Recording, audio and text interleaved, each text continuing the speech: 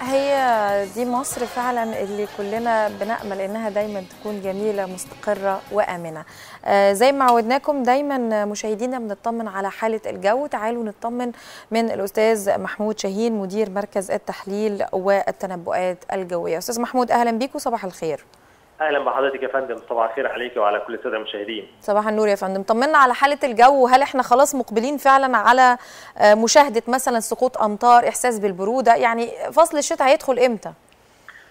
إحنا لا طبعا فصل الشتاء إحنا لسه في فصل الخريف. إحنا فصل الخريف هو اللي بيشهد تقلبات جوية ما بين أيام من فصل الصيف واعتدال في درجات حرارة للخريف وانخفاض في درجات الحرارة زي الشتاء وسقوط أمطار. فطبعا ده فصل تقلبات جوية ما فيش كلام. التقلبات الجوية دي بتكون حادة وسريعة لأن إحنا شفنا خلال ال 48 ساعة اللي فاتوا القاهرة ارتفعت درجات حرارتها وسجلت ما بين 33 ل 35 درجة مئوية. آه النهارده متوقع ليها ما بين 28 و 29 درجة. طبعا تغيير واضح وإحنا ده اللي نوهنا عنه إن قلنا هتشهد من يوم الثلاث انخفاض ملحوظ في درجات الحرارة. وطبعا سماء الجمهورية تقريبا النهارده ما الشمس ما طلعتش سواء على القاهرة أو محافظات الوجه البحري وسواحلنا الشمالية. السحب الكثيفة اللي موجودة هتؤدي طبعا اليوم إلى فرص سقوط أمطار على القاهرة زي ما شاهدناها مع بداية ساعات النهار. في أول اليوم كان في فرص أمطار فعلا ده حصل على مناطق من القاهرة.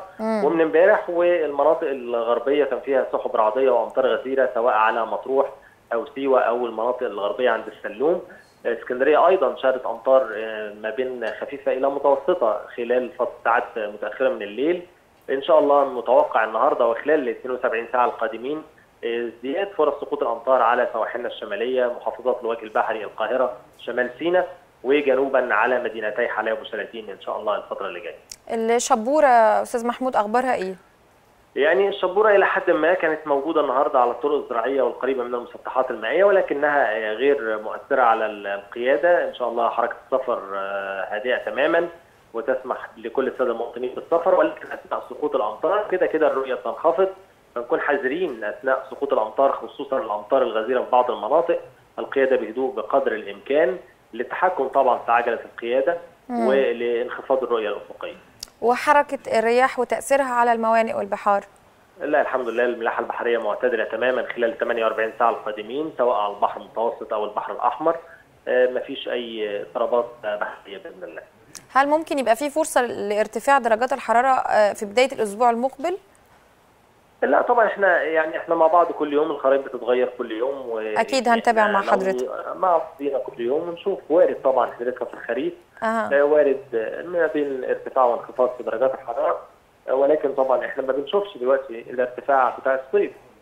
آه درجات الحرارة ما بتزيدش عن 33 و 34 درجة يوم ما بترتفع.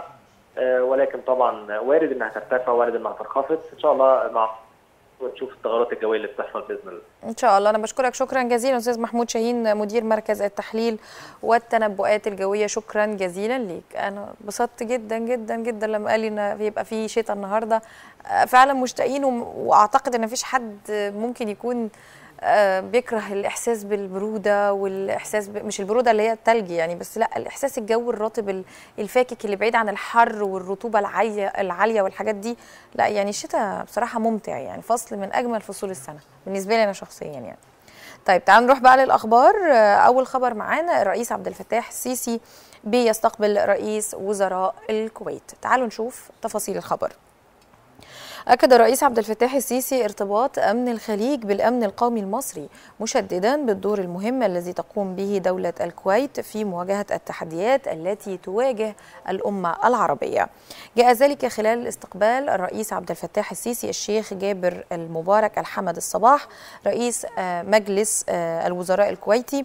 وأشاد الرئيس بمتانة وقوة العلاقات المصرية الكويتية وما تتميز به من خصوصية مؤكدا على حرص مصر على تطوير التعاون الوثيق والمتميز بين البلدين على شتى الأصعدة بما فيها تعزيز العلاقات التجارية الاقتصادية بالإضافة إلى جذب المزيد من الاستثمارات الكويتية إلى مصر خاصة من خلال التعاون بين الصندوق السيادي الكويتي والمصري.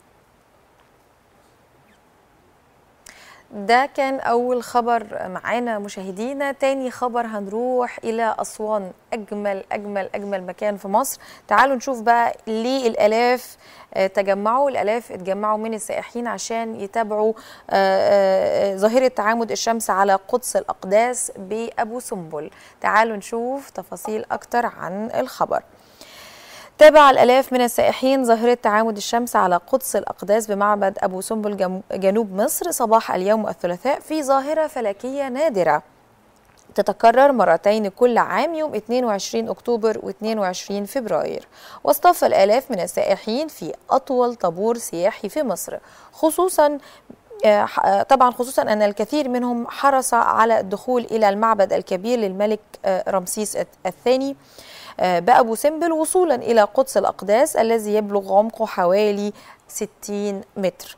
وقدمت فرق فنون شعبية والحقيقة أن كان عددهم كتير منهم 8 فرق تابعة للهيئة العامة لقصور الثقافة وطبعا قدموا عروض جديدة بساحة المعبد وسط تجاوب الآلاف من الحضور. معبد أبو سمبل من أجمل المعابد بس هو للأسف هو بعيد عن أسوان شوية تقريبا يعني ساعة ساعة ونص تقريبا على ما أتذكر بس هو يستحق إن الواحد يروح المشوار ده تقريبا أكتر مش فاكرة. بس يعني الموضوع مشوق جدا والظاهرة دي طالما هي ما بتتكررش غير مرتين في السنة فعلا تستحق إن إحنا نهتم بيها. وكمان إحنا حلو إن إحنا بنسوق لمصر. أنا شفت فيديوهات كتير جدا على اليوتيوب معمولة للظاهرة دي. ومترجمة فأعتقد إن ده تسويق إيجابي كمان لمصر من الناحية السياحية طبعا. طيب آخر خبر معانا هنتكلم فيه على ارتفاع صادرات الخضر والفاكهة المصرية ل 4.8 من عشرة مليون طن وده في الأسواق العالمية. كشف تقرير الإدارة المركزية للحجر الزراعي بوزارة الزراعة بشأن حركة الصادرات الزراعية الموسم الحالي عن ارتفاع حجم الصادرات الزراعية المصرية لجميع الأصناف من الخضر والفاكهة بقيمة 4.8 من عشرة مليون طن وسط إجراءات مشددة وفقا للمعايير الدولية المتفق عليها لجودة الصادرات ضمانا لزيادة صادرات المنتجات الزراعية لجميع الأسواق العالمية. بالإضافة إلى مواصلة تطبيق نظم التتبع والإنتاج للصادرات وتجهيز الشروط الجيدة التي يقوم بطلبها طبعا الاتحاد الأوروبي. وإحنا عملنا كذا فقرة مع حضراتكم عن فكرة التصدير وأهم المحاصيل اللي إحنا بنصدرها وتحديدا كمان الموالح وقلنا قد إيه إنه الناس بره بيهتموا جدا بكل المعايير. يعني يقول لك لو لو يعني الشحنة فيها فيها ثمرة واحدة مصابة مثلا لا قدر الله بأي إصابة ايا كانت خلاص الشحنة كلها بتترفض وشكرا. فاحنا بالتالي لازم نركز جدا في المزارع اللي مسؤولة عن التصدير وخصوصا في المحاصيل اللي إحنا ما شاء الله معروفين بره بيها إن ده محصول مصري. فنتمنى إن شاء الله الكثير والكثير من الزيادة في الصادرات المصرية وكمان جودة في الإنتاجية المحلية. طيب تعالوا بقى نشوف النهارده معانا إيه الفقرات الخاصة بالموضوعات اللي معانا. معانا فقرة هنتكلم فيها عن العنب. كل الناس اللي بتحب العنب إزاي هنفكر ننهض بهذا المحصول؟ إيه هي أهم المشاكل اللي بتواجهه؟ تفاصيل تانية كتير هنعرفها في الفقرة دي. آه فقرة تانية هنتكلم فيها على المجالس العرفية. وأنا بشوف إن دي من أجمل الأشياء الموجودة في المجتمع المصري. ان إن يبقى بيقول لك إحنا مثلا جينا باللغة العامية كده نعمل قعدة عرب. قعدة عرب نصفي فيها الخلاف أو إنه في المجتمعات الريفية مثلا يبقى في العمدة آه هو اللي بي بي بيحل المشاكل أو بيفض النزاع. أهمية ده إيه؟ وهل فعلا الظاهرة دي موجودة ومنتشرة في في مختلف أنحاء مصر؟ ولا اندثرت؟ هنعرف تفاصيل كتير عن الموضوع ده. كمان بقى بما ان إحنا مهتمين بالنخيل جدا جدا هنتكلم على النخيل وازاي نهتم بيه عشان يطلع لنا إنتاجية عالية. وسبحان الله النخلة دي حاجة سبحانك يا ربي مثمرة من أول ما هي في الأرض لحد آخر جزء فيها هي يعني جريد النخل حتى بنستفيد منه. يا رب إن شاء الله فقرتنا الحوارية النهارده تعجب حضراتكم وتت... وتستمتعوا معانا آه، في آه، يوم الثلاث اللي هو مليان فقرات متنوعة. أتمنى إنها تعجبكم. أشوفكم إن شاء الله بعد الفاصل راجعين على طول عشان نبتدي أولى فقراتنا الحوارية في ساعة جديدة وساعه صبحية.